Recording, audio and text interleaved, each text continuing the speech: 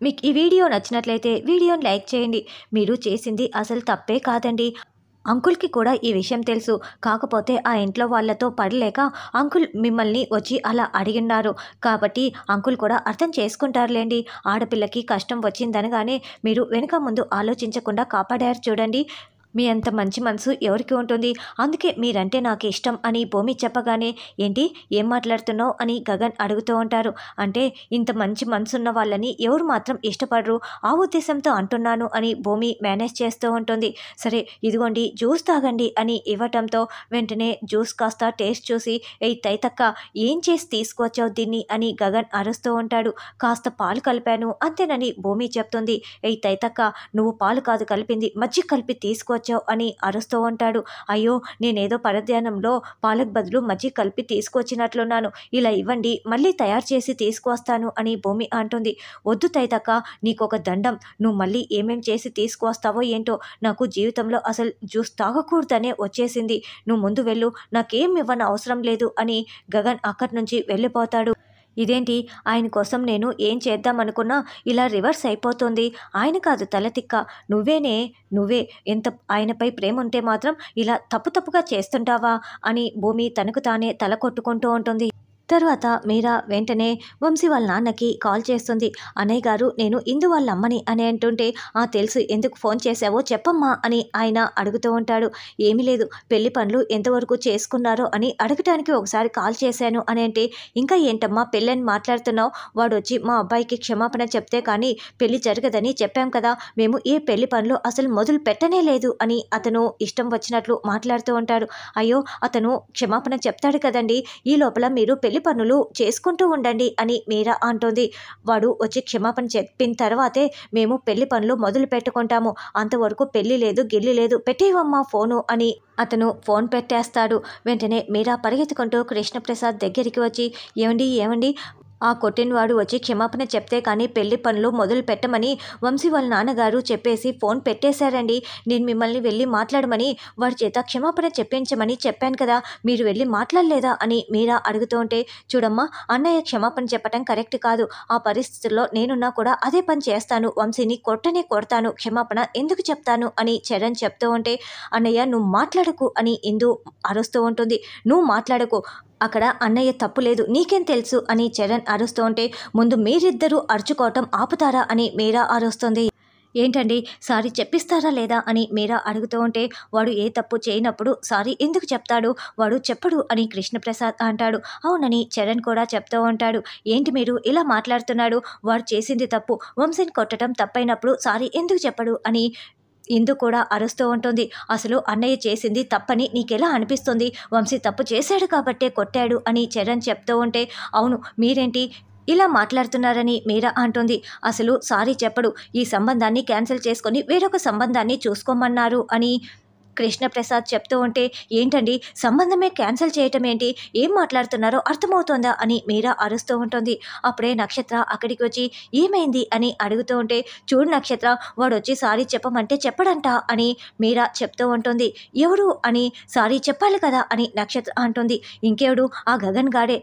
పెళ్ళి కొడుకుకి సారీ చెప్పమంటే చెప్పడంట అని మీరా అంటుంది. ఏంటి? ఆయన? ఆయనేం తప్పు చేశాడు? ఆయన అలా మాట్లాడాడంటే వంశీ ఖచ్చితంగా తప్పు చేసింటాడు కాబట్టి గగన్ అలా మాట్లాడి ఉంటాడు అని నక్షత్ర అనడంతో చరణ్ కృష్ణప్రసాద్ నక్షత్ర వైపు షాకింగ్గా చూస్తూ ఉంటే ఇందు కూడా నక్షత్ర వైపు షాకింగ్గా చూస్తూ ఉంటుంది. అవును ఆయన అలా మాట్లాడారంటే ఖచ్చితంగా వంశీనే తప్పు చేసింటాడు. అందుకే ఆయన సారీ ఎందుకు చెప్పాలి? మాట్లాడుతున్నది కరెక్టే కదా? ఈ సంబంధాన్ని క్యాన్సిల్ చేసేసి వేరొక సంబంధం చూసుకోవటమే కరెక్ట్ అని నక్షత్ర కూడా చెప్తుంది. అదేంటి? ఒక సంబంధాన్ని క్యాన్సిల్ చేసేస్తే వేరొక సంబంధం వస్తుందా? అసలు ముందు సంబంధం ఎందుకు క్యాన్సిల్ అయ్యిందని ఇక సంబంధాలే రావు అని మీరా బాధపడుతూ ఉంటుంది. వాడు సారీ చెప్పాలని మా అన్నయ్య కూడా చెప్పాడు. అసలు గగన్ గాడు సారీ చెప్పకపోతే ముహూర్తాలు పెట్టుకున్న తర్వాత ఈ పెళ్ళి జరగకపోతే ఎలాగండి అని మీరా బాధపడుతూ ఉంటుంది. అప్పుడే భూమి ఇదంతా వింటూ చాలా బాధపడుతూ మెట్లు దిగి కిందికి వస్తుంది.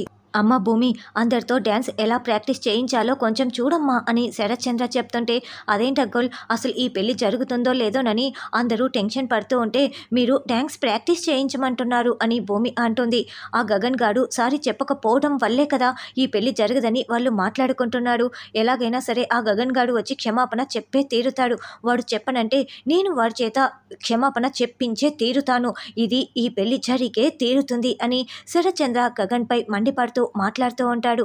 నువ్వు ఇవన్నీ మనసులో పెట్టుకోకుండా అందరికీ డ్యాన్స్ ప్రాక్టీసింగ్ చేయించమ్మా అని శరత్చంద్ర చెప్పటంతో అలాగే నాన్న అని భూమి అంటోంది.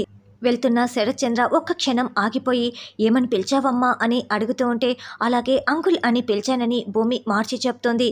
నాకు వేరేలా వినపడితే అడిగానులేమ్మా సరే నువ్వు వెళ్ళి డ్యాన్స్ ప్రాక్టీసింగ్ చేయించు అని శరత్చంద్ర చెప్తాడు. మనం అందరం ఇలా విడిపోయి బ్రతకటానికి కారణం ఆ బ్రహ్మ రాక్షసే కదా అందరినీ ఇలా తిప్పలు పెడుతూ నువ్వు మాత్రం ప్రశాంతంగా ఏసీ వేసుకొని పడుకొని నిద్రపోతున్నావా? అని భూమి పడుకొని నిద్రపోతున్న అపూర్వ గది దగ్గరికి వచ్చి అపూర్వని కోపంగా చూస్తూ తనలో తాను అనుకుంటూ ఉంటుంది.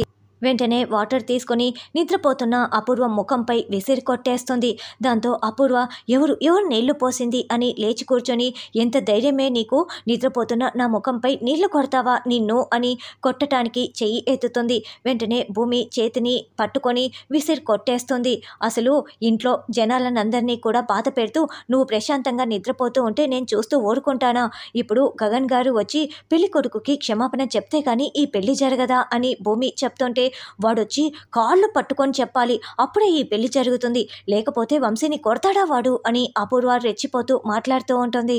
వంశీ తప్పు చేశాడు కాబట్టి గగన్ గారు కొట్టారు. ఇప్పుడు నువ్వు ఈ పెళ్ళిని సంబంధాన్ని కుదిర్చింది నువ్వే కదా. నువ్వే ఈ సంబంధాన్ని తీసుకొచ్చావని అక్కడ ఇందు బయట అందరికీ చాలా గొప్పగా చెప్పుకుంటోంది. కాబట్టి ఈ పెళ్ళి జరిపించాల్సిన బాధ్యత కూడా నీదే.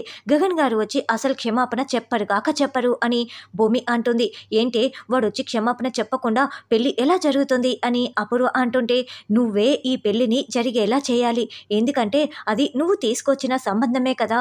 కాబట్టి వాళ్ళు నీ మాట తప్పకుండా వింటారు. ఒకవేళ నువ్వు ఈ పెళ్ళి జరిగేలా చేయలేదనుకో ఈ ఫోన్లో ఉన్న డేటా మొత్తం నేను అంకుల్కి ట్రాన్స్ఫర్ చేసేస్తాను. ఏంటి? అర్థమవుతుందా? నా దగ్గర డేటా చాలా సేఫ్గా ఉంది అని ఫోన్ చూపిస్తూ ఉంటే ఏయ్ నిన్ను ఆ ఫోన్ లాక్కుంటాను అని అపూర్వ లాక్కుంటూ ఉంటుంది. చూడు ఈ ట్రిక్కులన్నీ నా దగ్గర పనిచేయవు. నువ్వు ముందు వెళ్ళి వంశీ వాళ్ళతో మాట్లాడి ఈ పెళ్ళి జరిగేలా చెయ్యి. గగన్ గారు మాత్రం క్షమాపణ చెప్పరని నేను చెప్తున్నా కదా.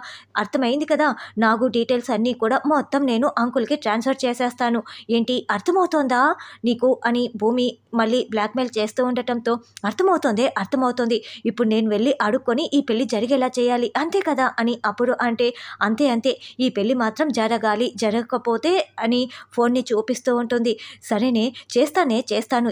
చేయక చేస్తానా? అని అపూర్వ అంటుంది. తరువాత మీరా శారద కోసం గుళ్ళో వెయిట్ చేస్తూ ఉంటే ఏంటి? రమ్మని చెప్పారు. ఏం మాట్లాడాలి? అని అడుగుతూ ఉంటే అసలు మా ఇంట్లో పెళ్ళి కావటం మీకు ఇష్టం లేదా? ఆ గగన్ గారిని వచ్చి క్షమాపణ చెప్పమంటే చెప్పకుండా ఈ పెళ్ళి జరగకుండా ఆగిపోవాలని ఇదంతా చేస్తున్నారా? అసలు మేము సంతోషంగా ఉండటం మీకు ఇష్టం లేదా? అని మీరా అరుస్తూ ఏడుస్తూ నిలదీస్తూ ఉంటుంది. గగన్ ఏ తప్పు చేయలేదు. ఆ అబ్బాయే తప్పుగా ప్రవర్తించాడు. అందుకే మా గగన్ కొట్టాడు. అని అంటే అవునులేండి. మీ పిల్లలకి ఎలాగో సంబంధాలు రావు. మాకొచ్చిన సంబంధాలు ఇలా చెడగొడుతూ ఉంటారు కదా మీరు. అసలు మీలో ఏ చెడు ఉద్దేశం లేకపోతే ఆయనతో ఎందుకు చాటుగా మాటుగా మాట్లాడుతూ కలుస్తూ ఉంటారు? అంతా మీరు చెడు ఉద్దేశంతోనే మాట్లాడుతున్నారు. ఈ పెళ్ళి చెడిపోవాలని ఆ గగన్ గాడు ఇలా చేశాడు అని మీరా నోటికి ఇష్టం వచ్చినట్లు మాట్లాడుతూ ఉంటుంది.